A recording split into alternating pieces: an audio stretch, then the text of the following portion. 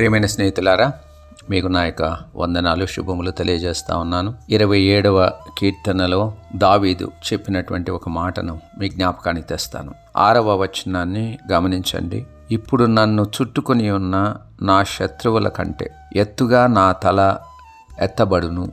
ఆయన గుడారంలో నేను ఉత్సాహధ్వని చేయుచు బలులను అర్పించేదను నేను పాడేదను యహోవాను గూర్చి స్థుతిగానము చేసేదను. మీరు గమనించినట్లయితే దావీదు తన యొక్క చాలా కీర్తనలలో తన శత్రువుల చేత చుట్టబడినట్టుగా శత్రువులు తనను తరుముతూ ఉన్నట్టుగా ఆయన వ్రాసినటువంటి పరిస్థితిని మనము గమనిస్తాం. దావీదు తన యొక్క శత్రువులు చాలా పర్యాలు తనకంటే బలవంతులుగా ఉన్నటువంటి పరిస్థితిని కూడా ఆయన గుర్తు చేస్తాడు. అంటే తనను వెంట పడుతున్నటువంటి వాళ్ళు తనకంటే బలవంతులు అన్నటువంటి విషయాన్ని ఆయన గుర్తించినటువంటి వాడుగా ఉన్నాడు. వారి చేతి నుండి కూడా దేవుడు తనను తప్పించగలడు అన్నటువంటి విషయాన్ని ఆయన గుర్తించాడు. ఇదే కీర్తనలో మీరు గమనించినట్లయితే ఇరవై ఏడవ అధ్యాయంలో పన్నెండవ వచనాన్ని నా విరోధుల ఇచ్చకు నన్ను అప్పగింపకము అన్న మాట అక్కడ వ్రాసినట్టుగా మనం గమనిస్తాం. అంటే దేవునికి తాను మొరపెడుతున్నటువంటి ఈ కీర్తన he is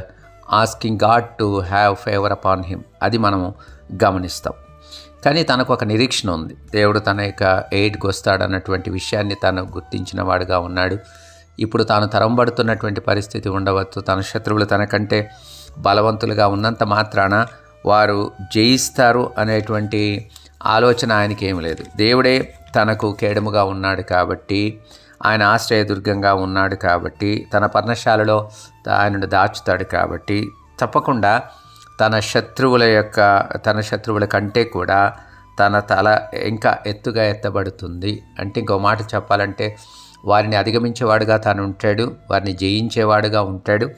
వారికంటే గొప్ప ఘనతను కీర్తిని ఆయన సంపాదించుకునేవాడుగా ఉంటాడన్న ఒక నిరీక్షణని ఆయన ఈ యొక్క కీర్తనలో వెలిబుచ్చుతున్నాడు. మనం కూడా మన యొక్క జీవితంలో మన క్షేమాన్ని కోరని వారు మన యొక్క ఉన్నతిని కోరని వారు మన యొక్క క్షేమాన్ని బట్టి సంతోషించలేని వారు అనేక మంది ఉండవచ్చు. మన విరోధులు మనకు మనకి కొన్ని పర్యాలు ఇంటిలోనే ఉండేటువంటి అవకాశాలు కూడా ఉండవచ్చు. కానీ దేవుడు వీటన్నిటిని గమనించేవాడుగా ఉన్నాడని గుర్తుపెట్టుకోండి.